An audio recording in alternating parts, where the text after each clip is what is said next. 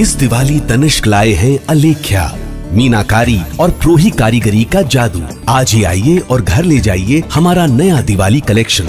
Gold jewellery की making और diamond jewellery की वैल्यू पर अप टू 20% परसेंट ऑफ़ के लिए visit Tanishq jewellers, India motor circle, Ajmer. शर्तें लागू।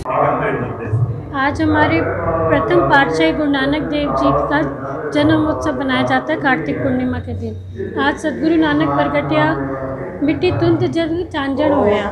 आज गुरु नानक देव जी ने प्रकट हुए थे और अपने, सब अपनी वाणी से और पूरे संसार को तारा था उन्होंने। आज हम पूरा सिख समाज, उनकी इस पावन प्रकाश पूर्व को बिल्कुल वो रल मिल खुशियों के साथ इस पावन प्रकाश पर्व को हम सब मिलजुल के मनाते हैं। यहाँ पे गुरु का नगर कीर्तन होता है शब्द होते हैं लंगर वर्तित होता है गुरु का प्रसाद वर्तित होता है। तो पूरी साथ संगत मिल के इस पूरे गुरपुरब को साथ साथ मनाते हैं। वाहिगुरु आपका नाम? मोनी। आज सिखों के प्रथम गुरु गुरु नानक देव जी का पावन प्रकाश पर्व है। पूरी दुनिया में हर्षोल्लास साथ सभी गुरु नानक नाम लेवा मना रही है। अजमेर में, गंज गुरुद्वारे के तहत ही पूरे शहर में, पूरे सिख समाज मिल के ऑफिसर विसिट में कचहरी रोड में मनाया जा रहा है। सुबह नौ बजे अखंड पाठ की समाप्ति के बाद गुरु गुरु ग्रंथ साहब जी को शोभा यात्रा के रूप में गुरु नानक गंज से लेके कचहरी रोड पे कचहरी विसिट पे लाए थे। रास्ते, उनकी गुरु ग्रंथ साहब की अगुवाई, पंच प्यारों के भेंट की गई थी। संगतें शब्द पढ़ती हुई आ रही थी। इसी तरह पूरे दिन कचहरी रोड पे दीवान सजेगा। बाहर से आए हुए यागी जैसे कीर्तन करेंगे? कथावाचक गुरु इतिहास के बारे में बताएँगे और शाम को फिर साढ़े तीन बजे गुरु ग्रंथ साहब की सवारी शोभा यात्रा के रूप में उनके निजी स्थान गुरुद्वारा, गुरु नानकगंज में ले जाई जाएगी। इस मेरा नाम तारा सिंह बग्गा कैशियर, गुरु नानकगंज। सुनी पुकार, दातार प्रभ, गुरु नानक, जगमाहे पठाया।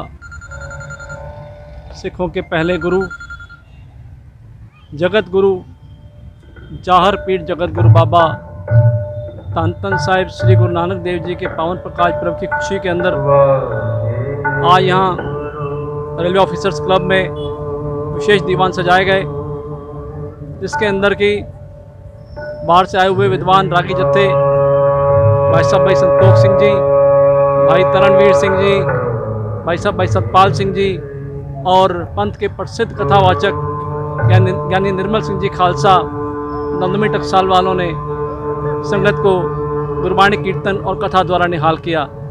और दीवान की समाप्ति के बाद गुरु का लंगर बरताया गया और साढ़े तीन बजे यहाँ से फिर गुरु साहब महाराज की शोभा यात्रा आरंभ हुई। ये शोभा यात्रा पाँच प्यारों की अगुवाई के अंदर गुरु ग्रंथ साहब महाराज को पालकी में विराजमान करके और सिख नौजवान अपने कंधों पे पालकी को उठा करके लेके चले और आगे आगे हमारी माताएँ, बहनें पूरी सड़क पर झाड़ू लगाती रहीं, पूरी सड़क को धोती रहीं। और पीछे पीछे गुरु ग्रंथ साहब महाराज की सवारी चलती रही। इस तरह नगर के विभिन्न मार्गों से होते हुए गुरुद्वारा साहब पहुँचे। गुरुद्वारा साहब जाके संपूर्णता हुई और इसी क्रम में रात को आठ से लेकर बारह बजे तक कहीं गुरुद्वारा साहब में दीवान सजाया गया।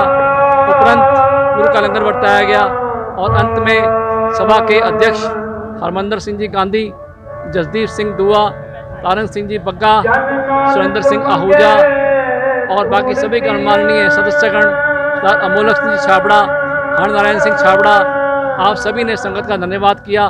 दास देवेंद्र सिंह दुआ सचिव, गुरुद्वारा शिव नानक सभा गुरु नानक गंज अजमेर।